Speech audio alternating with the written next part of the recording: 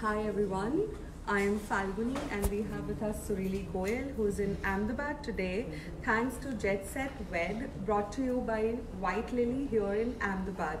And we have certain questions as usual lined up for the designer who's come to city. So welcome to Ahmedabad. Thank you. It's my first time here and I'm really, really excited.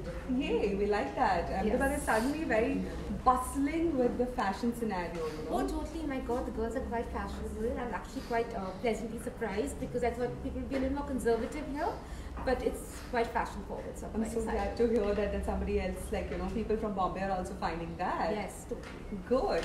So, um, tell me, you're a designer as well as a stylist, you know, and that's how you kind of positioned yourself when you started working like that. What do you enjoy the most out of the two? Be designing or I styling? mean, I'm not, I don't style that much anymore. I Right. started my career like that. I enjoy designing. I mean, I love styling too because it's more interactive. You're meeting more people. It's a whole crew involved. So it's not only your vision. You're also realizing somebody else's vision. It's team effort. When you're designing, it's more your effort, um, and it's more your thoughts and your ideas. So both are ex- exciting and challenging in its own way. Great. So let me take you back to your styling days because that is something which is picked up a lot now in Ahmedabad, Yes. you know, after so many years. So um, making people realize that Surily had, uh, she made her big Bollywood debut through Salam Namaste and I think we all remember Preity Zinta's look a lot, you know. So Yeah. I think 2005 those looks and when you look at the movie even today in 2019 they look so fresh. Yes. So what was your whole idea? How did you go about the characterization and what was the process that you followed in styling then? Well, I think um, actually Preeti was my first client, celebrity uh, client. My first movie was Salam Namaste, and I learned a lot from her. She was just amazing. I mean, she taught me that costumes are not only supposed to look good, but they're supposed to be functional. It has to work for the scene. It has to work for the dance, for the movements. Uh, uh, actor needs to be comfortable in it. So there are a lot of aspects to styling as opposed to just looking good. Good so I think uh, that was a great um, tip that I learned uh, from her, and also like the location, and she was willing to try different things. She was experimental. She was very supportive, and I think all that made a huge difference. Sure. So what what is the difference when one styles for a movie and what is the difference when because you did a lot of celebrities are still wearing a lot of your clothes, you know? Of course, but uh, when you're styling for a movie, it's not a character you're dressing. When you're styling a celeb- celebrity on a day to day, it's you're styling them as a person. What suits them, and it's more like casual, more with the trend. And when you're doing a movie, it's more as per character, the role that they're playing in the movie. Which celebrity do you think is like most open to experimenting beyond their um, personal Well, style?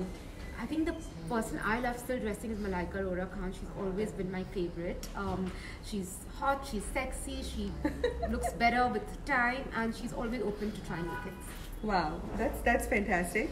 So beyond celebrities, um, of course, in Bombay, I am sure the scenario would be very different. People are hiring stylists, you know, Right. who are not celebrities, and yet they want to look good. Uh, do you think that the non-metro cities are open Oh to my something god, like you will be surprised how many people in Ahmedabad have stylists. And there's so many girls I have met through because I've customized things for them through a stylist, and today they're friends of mine in Ahmedabad. Wow. I mean, a lot of people have stylists. It's no more a celebrity thing because everybody has somewhere to go. Absolutely. So, what's your personal style like?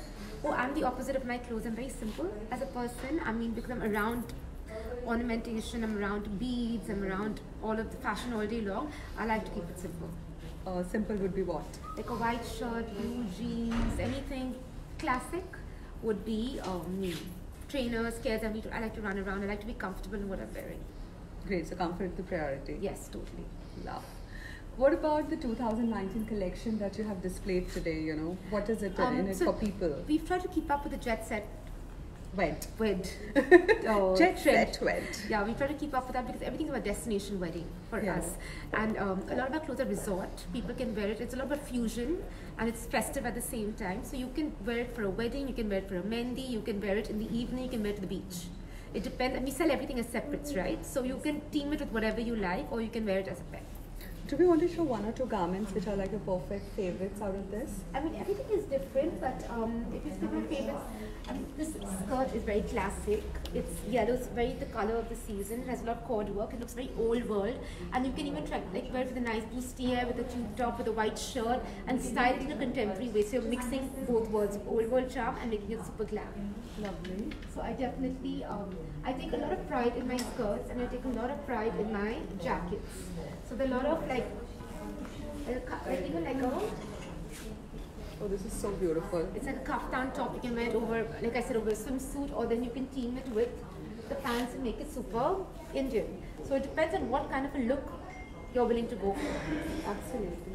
So, what would you give styling tips for a person who wants to go for a friend's wedding?